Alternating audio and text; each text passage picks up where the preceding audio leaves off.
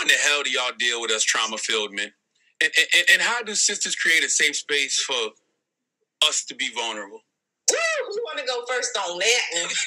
I'm gonna let you talk first. um, well, what I what I had learned because before I was like, get yourself together. Whatever it is, go fix it. Come back when you got it all together. We can build together, etc., etc.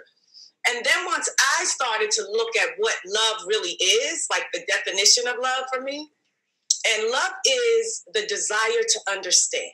Mm. Right? And so that's going back to some Buddhist principles.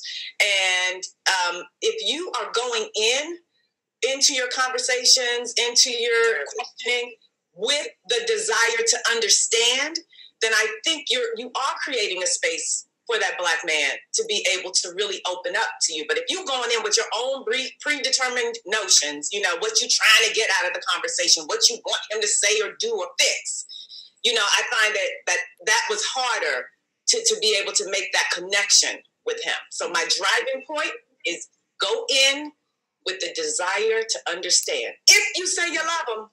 Mm. If you love him. What about you, Taraji? Mm-hmm. Um, it's just understanding. You have to understand, and it's not about um, winning. It's about an understanding about because love really like when you compare.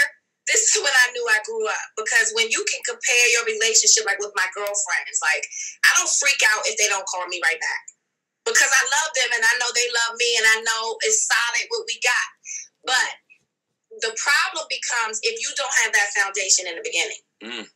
So I'm okay with a we're everybody. First of all, no one's perfect because that's a, the per- my therapist freed me when she was like, the perfect lie is perfection. Mm-hmm. That's, that's right. the perfect lie. And she and so and through my therapy and tapping into my trauma, it's like a lot of times it's um, a misunderstanding.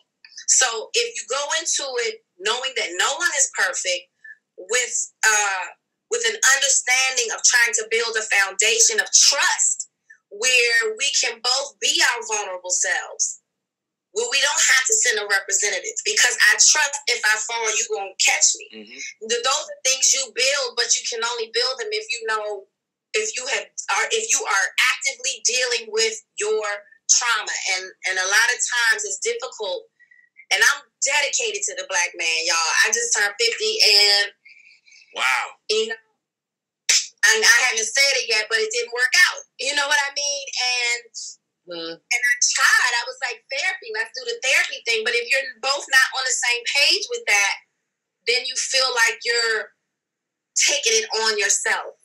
And mm. that's not a fair position for anybody to play in a relationship my my happiness is not his responsibility and his happiness is, is not mine we have to first learn how to make ourselves happy to make each other happy and so when one person is taking on the weight of the entire relationship it's never going to work somebody you have to show up and yes you want to be understanding but you can't lose yourself in that understanding you you have to still stand up for yourself and be there for yourself. But it's hard to do if the other person isn't doing that part either.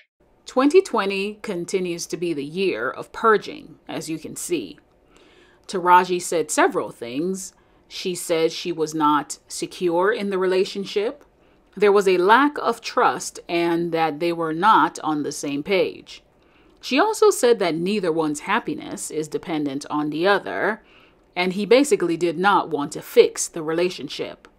Here we have a woman who is a mother, a business owner, Oscar nominated Golden Globe winning actress, who wanted to be with this man and work on the relationship, but he clearly didn't see her as the prize in the relationship.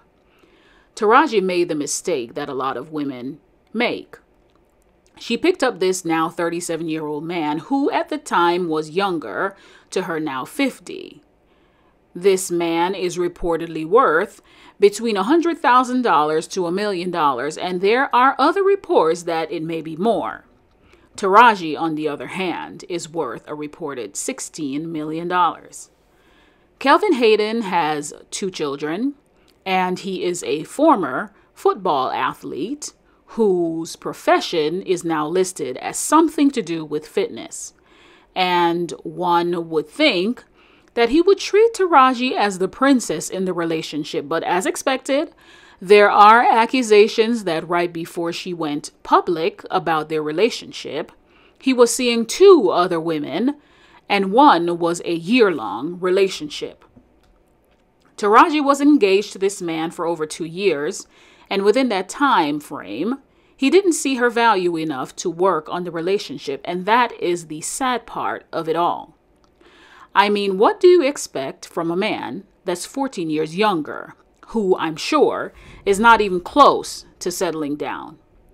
When I saw on her page where she posted these over the top photos, almost naked, I knew that the relationship was over. My question is why is it that when we are in a relationship with these men, we shape shift to be who they want?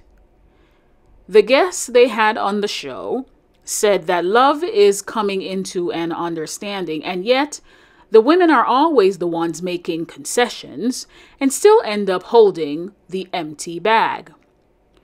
I know there is nothing at all wrong with being single, and having a man is no validation as a woman. However, when you put what seems to be hard work into a relationship and you turn out to be the only one doing the work, what do you do? Continue on with the relationship that your partner shows you that they don't want to be in? In her case, she walked away and she did so even at 50 years old. And while I suspect that was a hard decision for her because of society's continued trope about black women being single and their constant blame of them being the reason for being single, she finally saw herself as the prize and what she's worth and not the $16 million. But a mother, a business owner, Oscar nominated Golden Globe winning actress, and an icon in, to some in the community. I respect her decision, and I'm sure you do too. Let's hope she kept that ring, no matter what Wendy Williams says. These are just my thoughts. Comment below your thoughts and opinions. Remember to subscribe if you haven't. Like, share, and turn on your notification bell so you will know when I upload.